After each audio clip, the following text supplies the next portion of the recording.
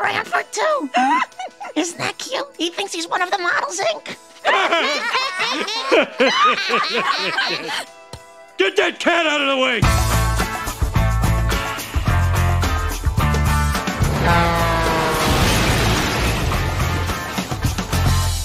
Uh, that's it.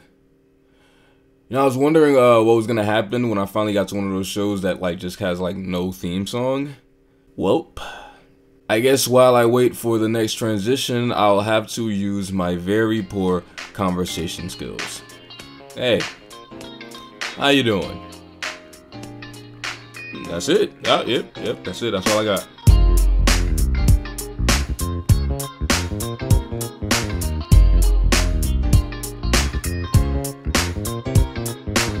Know, I know, I know, man. I used the great value one, whatever. Just what you want from me, alright? Slacker Cats was an adult animated series created by uh, these two. Produced for fucking ABC Family, nonetheless. Running for 12 episodes between 2007 and 2009. It's, um, uh, it's, uh, Garfield meets Seinfeld. Nice, just what I always wanted.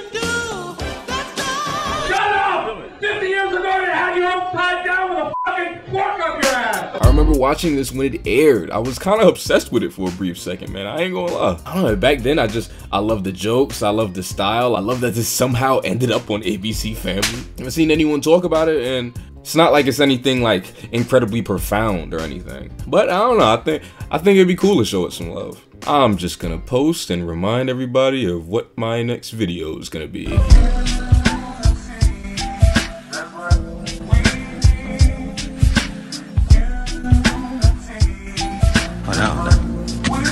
This, this, this can't be. Fuck y'all! Your ass will get this slacker cat video. You won't like it. Nah, hey y'all niggas up. Nah, nah, I ain't want this, bro. I want a Daria. Where the Daria video at? Nigga, Daria want me to do slacker cats. Fuck you. Slacker cats rules. Okay, I already, I already know this shit finna flop. I'm just finna throw every cameo possible in this shit. Fuck it. Anybody that ain't tuned in, y'all missed out. Oh, we're on Tariq's channel. That means we get to curse as much as we want. Hell, damn, shit, fuck. What's all this shit on the wall? This shit looked like Tariq struggling hard on a multiple choice question. Like, goddamn, pick an answer already. You fucking up the scantron. That's actually still gross, depending on how you look at it. What the fuck is Slacker Cat? Tariq, man, you. I, h- how much longer is this going to be? Until I'm not angry anymore, you fucking crash test dummy. This ain't televised, they telling lies, but promise I won't. We've been patronized, they taking lives, I'm on my way home. Relax my mind about half the time I'm watching cartoons for nights, how I'm locked in my room. Of course, they resemble my skin when I watch too. Hypnotizing, tannic, how I follow through the vibes. Okay, dreaming mama's proud as if she looks through Penny's eyes. I'm a man of the house like Oscar. You deceive, I believe need Oscar. James Earl, when I speak, I'm a Fossa. Gotta swerve in the streets, never block us. I go, feel more, just try make you feel more. Through the halls, I felt storms. Looking at me, cause I don't like what you like, you feel torn. Should've smacked you like slick back, you ain't seen pimpin' before. For the stars, I shoot pimpin', no boy, you best set the score.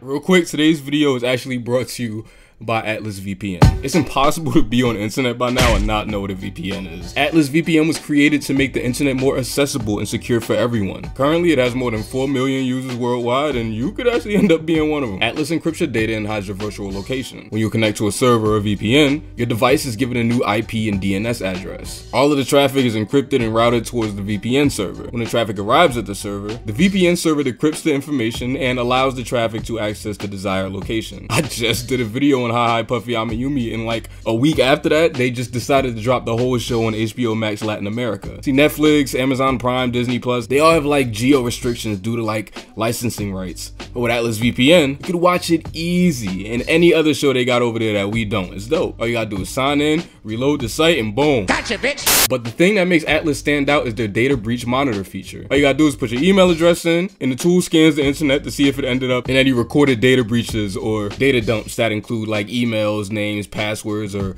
any other sensitive information, like your search history. There's so much porn! Enabling locations keeps you in the loop of things like this. Just gives you a heads up to change your password before anybody has a chance to actually steal any information. Atlas VPN is supported on any device and provides a 30-day money-back guarantee for all subscription purchases. Hey, if you're feeling all that, Stand up! click our special link in the description and get Atlas VPN for $1.99 per month for a three-year subscription. Again, just click our special link in the description for $1.99 per month for a three-year subscription.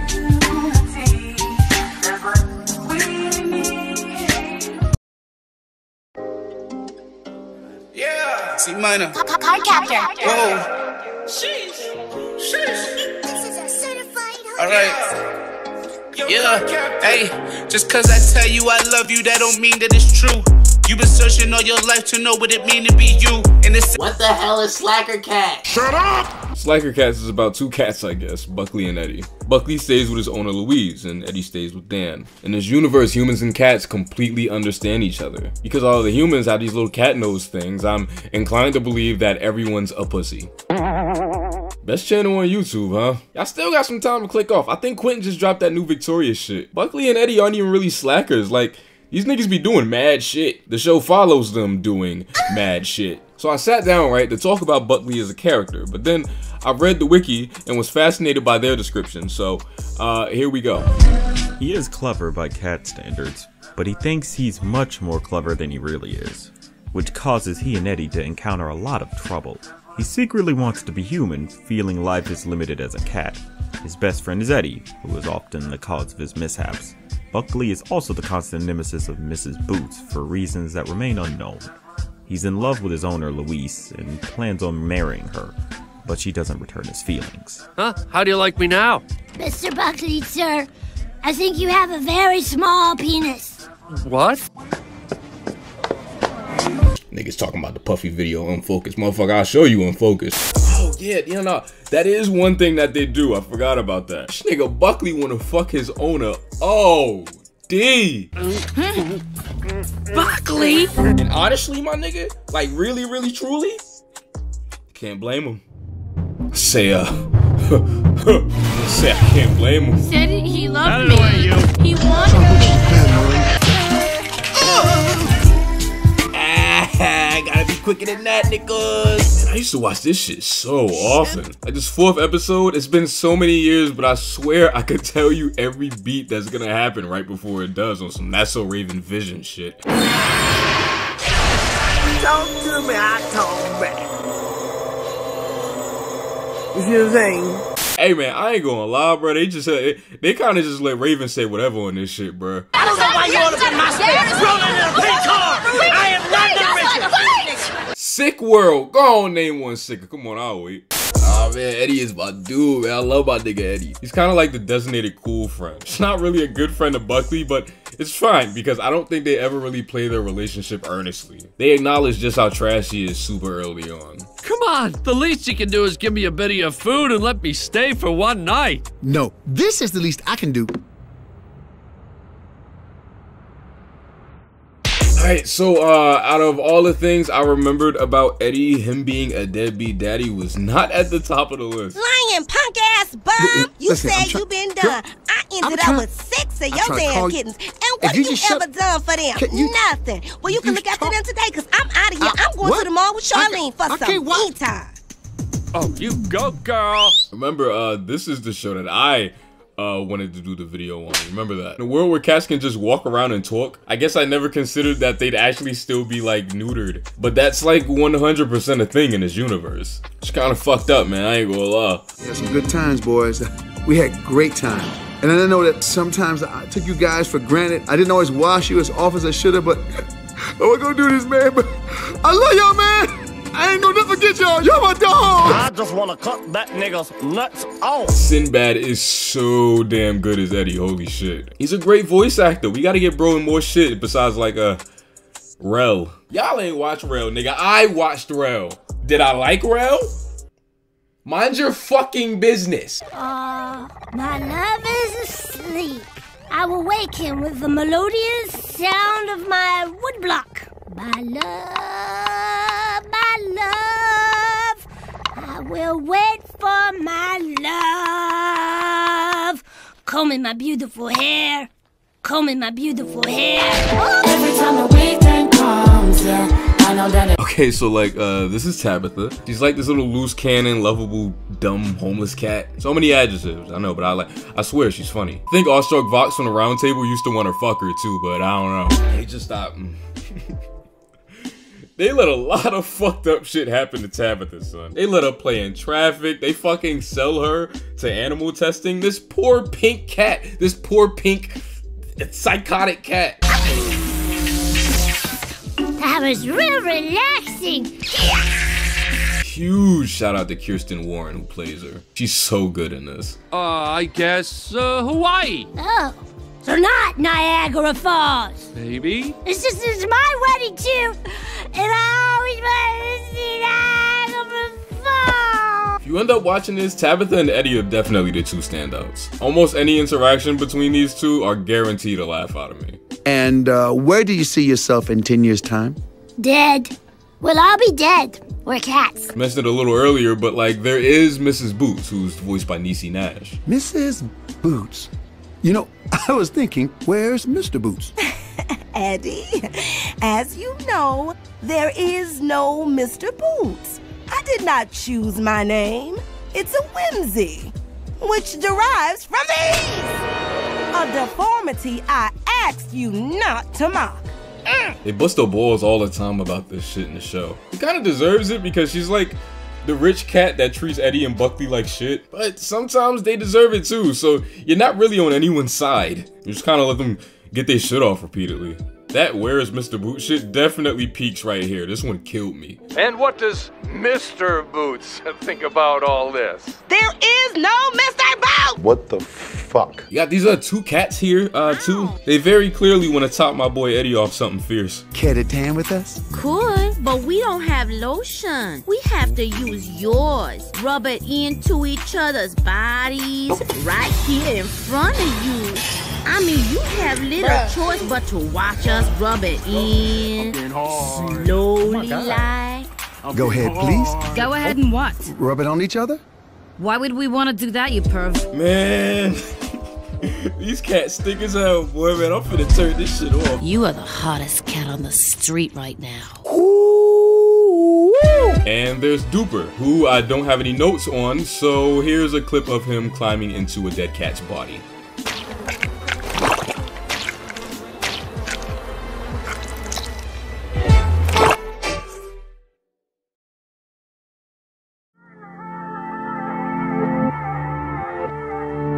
This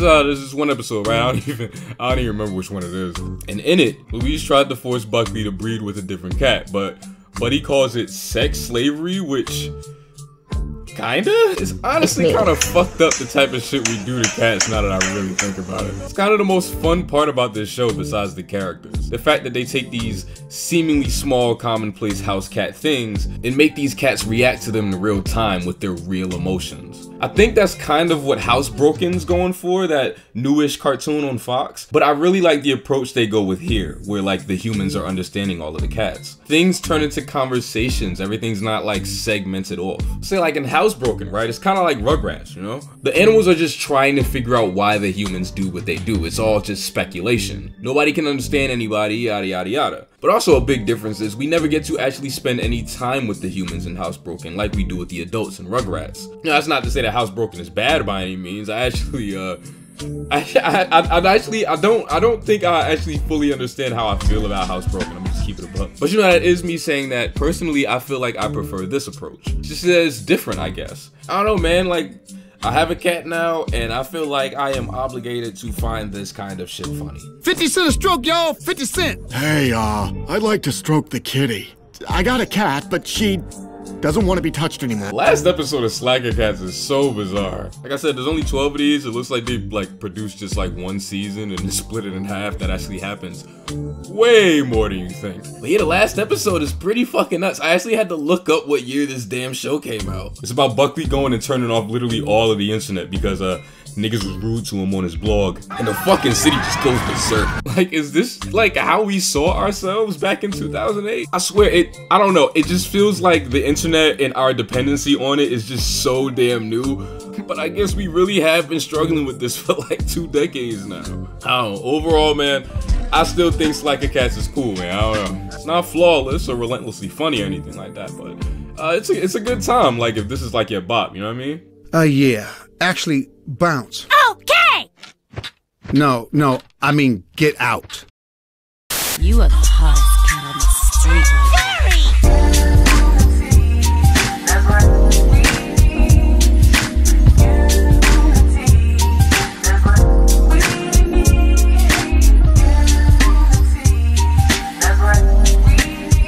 It's an easy just task. every movie review, and you should just write they showed the hammer or they did not show the hammer, Didn't depending show on the what the hammer. movie. Hey, yo, enough, man. What you got to drink up in here, man? I'm thirsty, man.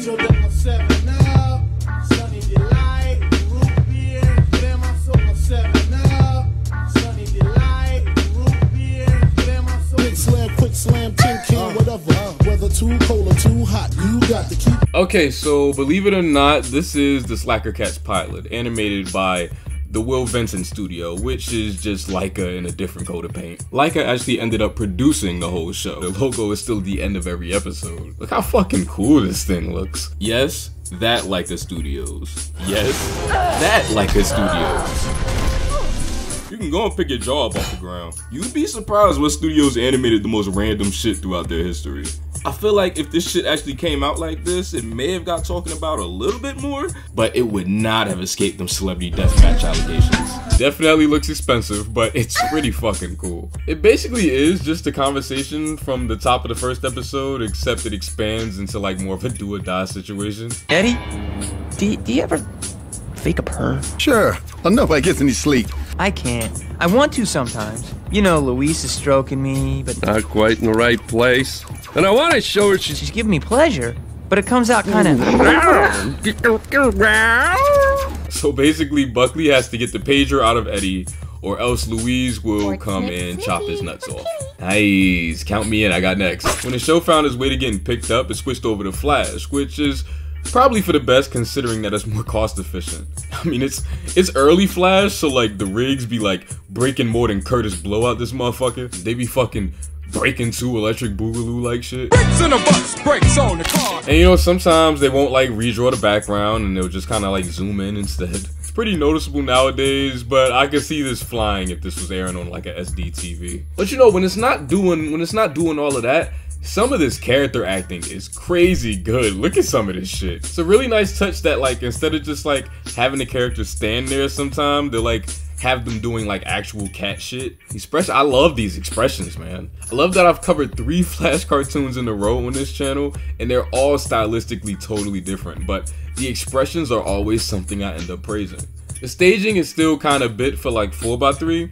This is before all TVs were HD, but like they knew that they were like trying to bring it in. So everything is more staged so it can fit in both. So nothing important's cut off uh, if you're watching this on your Lightning McQueen VHS TV. Well, how about that body swap movie? 45 year old man swapped bodies with a 43 year old man. Imagine the fun, Eddie. You get the biggest popcorn they got now. Yes, sir. Nigga, where's the meat? Why do cartoons keep doing shit like this? Just Where's draw the fairy dick, like Big Mouth. This isn't Big Mouth. You're not gonna see it. Just draw the dick. I don't just draw it. Drawing the schlong can't be that hard, my nigga son. Just give me, give me this. Watch this. I'll do it my damn self. Fuck up. Seeing people call this like a, a, a Family Guy clone, like fam, it's practically written on the fucking wiki. Not even comparable in writing, aside from like the normal mid 2000s oh fuck that's mad racist joke that you hear every once in a while. You shouldn't be out in the open. We have to hide from Chinese people. Oh my gosh. This is kind of just gonna be like a simple review thing, but honestly, these claims came up so much that the bitch just turned into the whole thesis. Y'all niggas, y'all got me tight, man. I ain't gonna lie. What exactly makes this a Family Guy clone? The art design? Look at how these characters move. Look how loose this character acting is. If you watch this for more than five seconds, you'd see that. I love Family Guy more than life itself. And I think it looks great. I want to make that very, very clear, but I'll be the first to tell you that character acting isn't part of the reasons why. The term clone is just so dismissive. It provokes this like one-to-one energy. When I think clone, right, I think of like some of those Scooby-Doo one-offs. So like Paradise PD, or Gucci Man. Not Slacker Cats, my nigga. This just happens sometimes when shows share crew members. Slacker Cats definitely started off stop motion, but afterwards, the main cast was redesigned by uh, Seth Kearsley, who a grand majority of the internet might know as the Kingdom Hearts animated series plug, but a nigga like me, Okay, Noah's is a director on Family Guy. Or uh, the director of Eight Crazy Nights, but that's if you're really trying to operate on hard mode. Leave me the fuck alone! And I think because the show is animated in his style, I think it might lead people to believe that he created it and that it was always supposed to look like this, but neither one of those is the case. Follows similar design philosophy, sure, right? But like, what about tone? What about structure? What about the way that it approaches its jokes and characters? Shit, what about the way that it's literally staged and animated? It's literally not the same. But I, knew, you wouldn't listen. So I asked my own boy Daftpina to talk a little bit more about this. I don't feel like drawing him, so here. Sunsets in the west, yes we know this.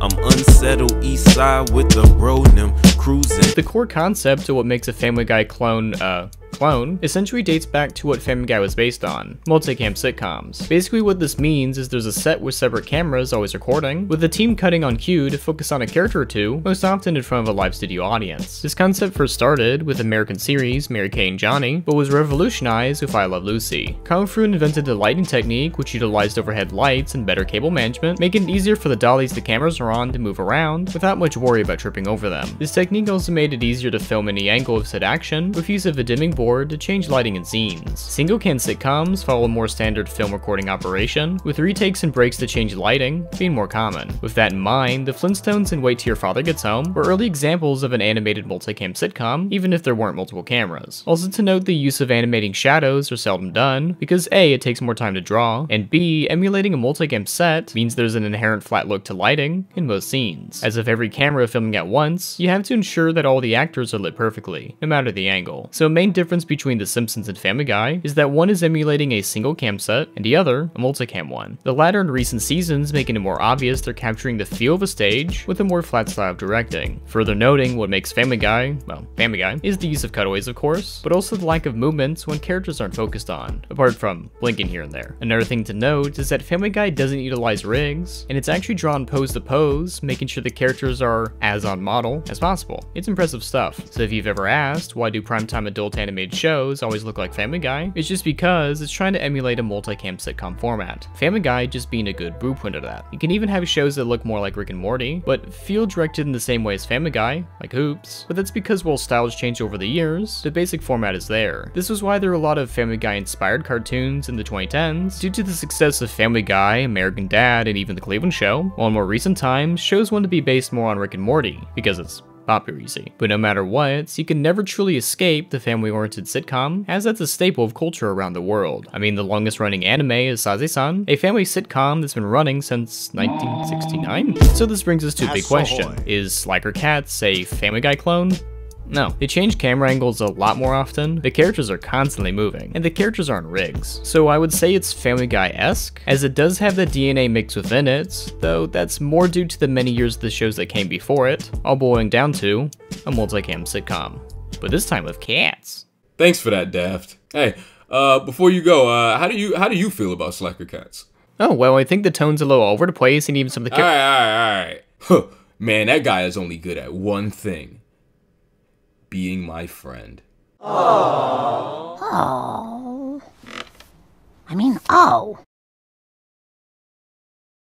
U-N-I-T-Y, that's unity. She's sick of that song on how it's so long. Thought he worked his until I handled my biz. There I is, major pain like Damon Wayans. Low down dirty even like his brother Keenen. Say it one more time. At last, you're becoming a crafty consumer. I'll take eight. Every day,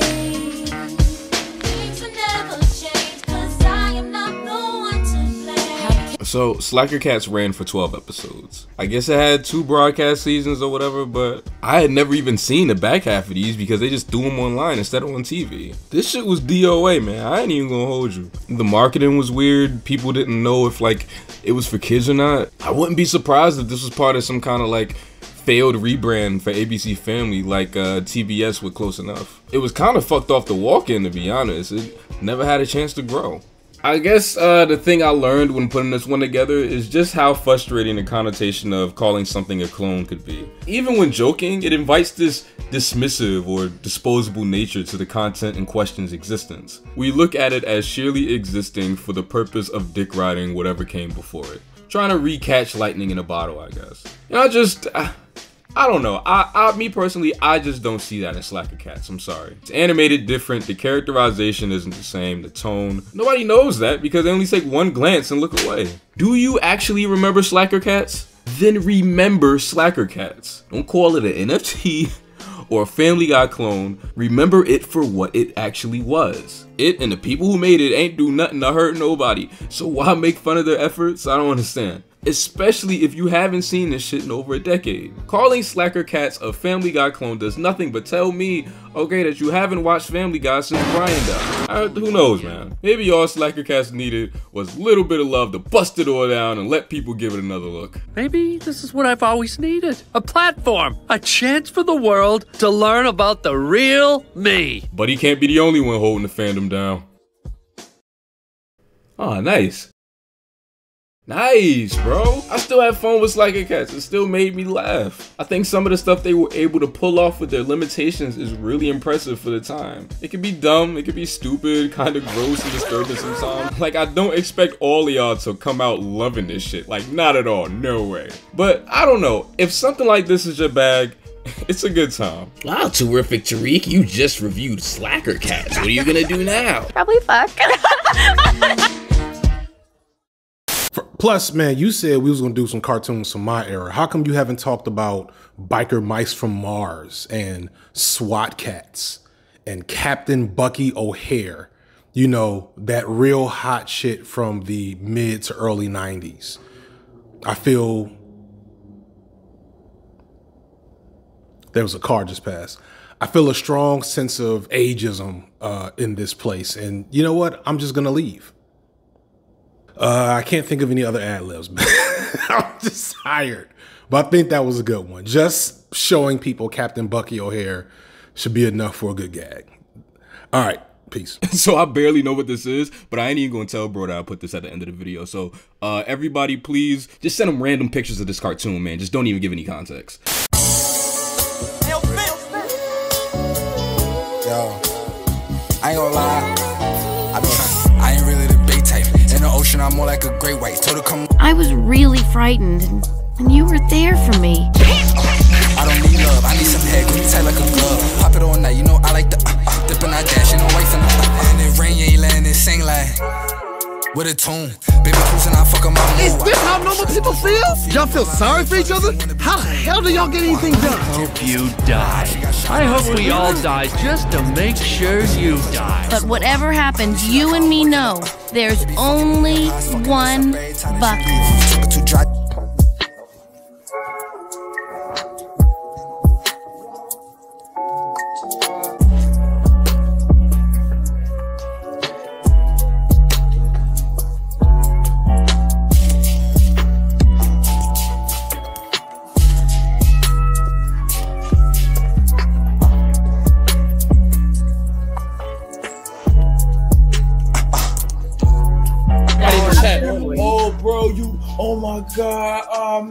My nigga. Oh yeah, fuck him.